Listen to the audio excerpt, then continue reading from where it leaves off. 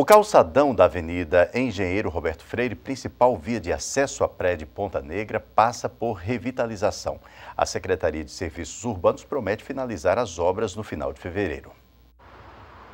Nova iluminação, recuperação do calçamento e renovação de lixeiras são exemplos do que está sendo feito no calçadão da Avenida Roberto Freire, para melhorar a vida de quem caminha pelo local. Tornar aquela área uma área de convivência como demais áreas iguais, que são alamedas, que estão sendo usadas pela população para a prática de esporte, prática de caminhada, tirar a população do sedentarismo e poder inserir aquela área como área de convivência. A exemplo da Avenida Campos Sales, a exemplo é, da Alexandre de Alencar, que fizemos a Alameda, Marilene Dantas, agora o calçadão de Ponta Negra se tornará mais uma Alameda. Qual o prazo de entrega da obra?